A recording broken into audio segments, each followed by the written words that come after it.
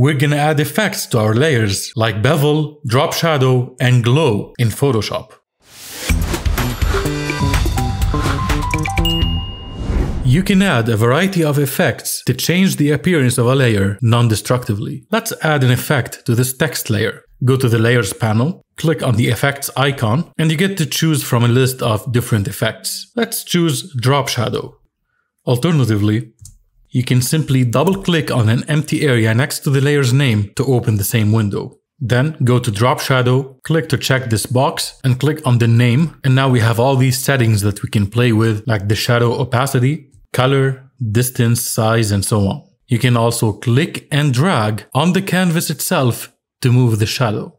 Now you can add another effect like bevel and emboss. If you click on the effect's name, you'll see all the settings that you can change for this specific effect. Some effects have a plus sign next to them, like the drop shadow for example. That means you can click to add the same effect multiple times and change the settings as you wish. Now I have two drop shadows. Let's add an outer glow just to make our text even uglier and then click OK. And you can see all the applied effects under the layer. That means you can click on the eye icon to hide the unwanted effects or click here to hide them all. You can right click and clear them all. Let's undo that. And you can still modify the layer's content without messing up the effects. Also, you can right click on the effects, copy them, and paste them on another layer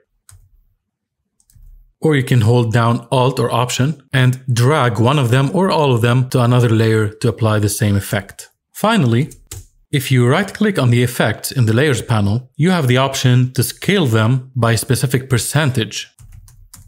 Or you can choose create layers to convert all the effects into regular layers. This will allow you to make further adjustments to these layers, but you can't edit the layer styles anymore. So maybe make a copy of your layer before doing that or don't. You know, I don't really care what you do.